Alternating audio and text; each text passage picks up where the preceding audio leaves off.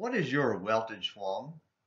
You have one even if you don't know what the word means. It's a rich German word, one that sinks in your brain and rolls around on the tongue and is fun to repeat, that literally means world view when translated into English. It refers to how we see the world, though the concept is more complex. It is defined as a comprehensive conception or apprehension of the world, especially from a specific standpoint. It's the framework that shapes how we see this world. It varies from person to person and may be very complex or quite simple, but we all have one. For those folk whose worldview is purely physical and naturalistic, life is lived under the sun, Ecclesiastes, and is focused on the here and now. It's a what's in it for me mindset that, oddly enough, is expressed in many religious bodies, even so called Christian groups, as well as in the atheistic culture that dominates the American academic, entertainment, and political circles. Like the children of Ahab, they worship themselves, and this world is their Baal.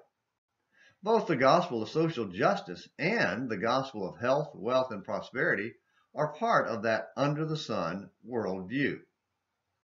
The above the sun worldview is in constant conflict with the naturalistic because the latter hates the former, John 15, 18, and every attempt to compromise ends up stuck under the sun, John 15, verse 19. Trusting God in the face of the seemingly overwhelming power of this world can be difficult, but it's not impossible. Jehoshaphat, who ruled Judah during the days when Ahab and his sons ruled in Israel, showed us how. Ahab and his boys were thoroughly under the sun men in sharp contrast, Jehoshaphat approached life with an above the sun worldview. When a vast coalition of armies formed to attack Judah, he went to God for help instead of calling on his ally Ahab. He went to the temple with all the people and called on God with these words O Lord, the God of our fathers, are you not God in the heavens? And are you not ruler over all the kingdoms of the nations? Power and might are in your hand, so that no one can stand against you. 2 Chronicles 20, verse 6.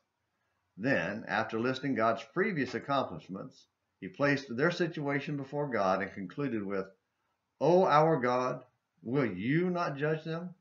For we are powerless before this great multitude who are coming against us, nor do we know what to do, but our eyes are on you.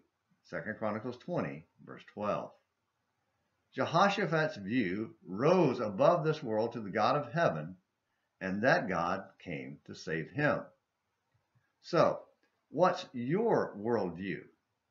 Is it stuck here beneath the fading sun, or lifted up to the eternal Son who came to save you?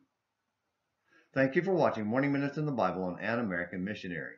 Until next time, this is James McClenny hoping you have a great day.